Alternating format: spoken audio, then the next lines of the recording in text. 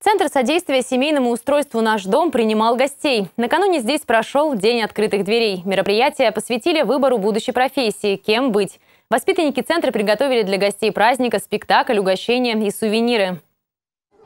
Тимур Вылка к приему гостей готовился основательно. Накануне вместе с товарищами он пек блины. Рецепт самый простой, но когда делаешь с душой, получается шедевр. Там молоко литр, потом яйца 4, размешать, потом муку 20 ложек. Маленький Даниил – участник самодеятельности. Роль небольшая, но ответственная.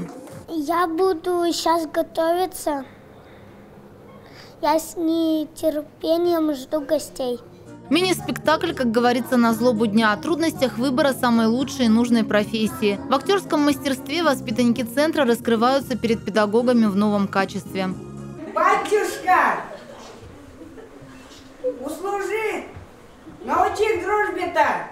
Одна я одинешенька. Во время праздника на территории центра работали мастер-классы. Флористика, робототехника, армрестлинг, мехенди. По желанию можно было научиться делать даже макияж будущего. Визажист Анна Гордеева с удовольствием делилась мастерством. У нас как эм, предполагается, что мы как эксперты образа будущего, поэтому будем, так сказать, креативить, придумывать как это будет выглядеть в будущем. Что даже можно вот на мне посмотреть, что вот это вот такой вот макияж.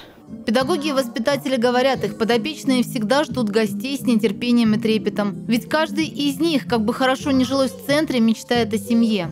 Я считаю, что такие мероприятия, конечно, безусловно, нужны в первую очередь детям, которые проживают здесь.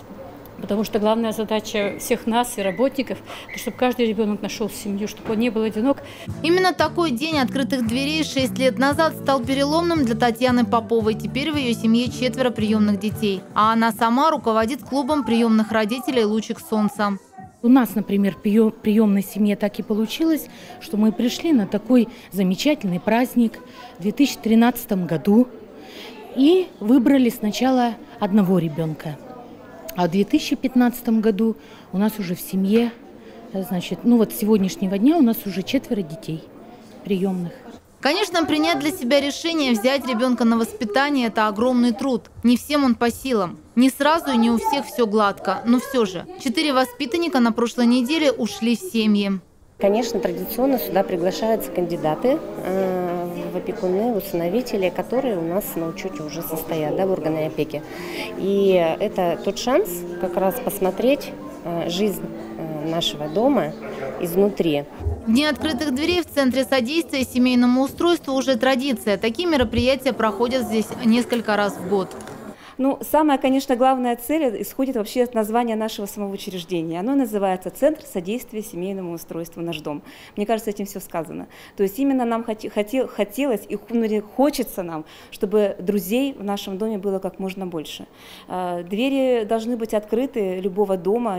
В учреждении 66 воспитанников. Самому младшему ребенку здесь 4 месяца. Проживают дети за совершеннолетие, а иногда и до 23 лет. Это единственное государственное бюджет бюджетное учреждение для детей-сирот и детей, оставшихся без попечения родителей в Ненецком округе. Ольга Русул, Антон Водряков, телеканал «Север».